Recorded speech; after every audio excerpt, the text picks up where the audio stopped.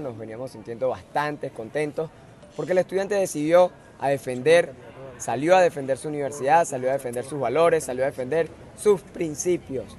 Y ese proyecto que todos nosotros veníamos discutiendo, conversando con los estudiantes en los distintos salones de clase, en los distintos pasillos de nuestra universidad,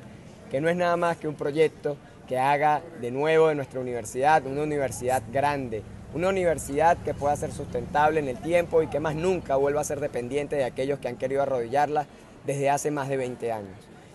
Hemos tenido distintos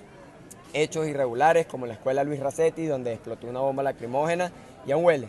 aún huele el miedo, el miedo de aquellos que querían precisamente nuestra universidad arrodillada, pero se quedaron con las ganas. En la Escuela de Estudios Internacionales tenemos también un hecho irregular donde se lanzaron bombas lacrimógenas que no detonaron. Y bueno, gracias a la organización de los estudiantes y a las medidas que nosotros tomamos, el proceso pudo continuar, el proceso pudo seguir y los estudiantes pudieron seguir dando el ejemplo en la defensa de su universidad. En el núcleo Cagua hace más de una hora y media empezamos a recibir reportes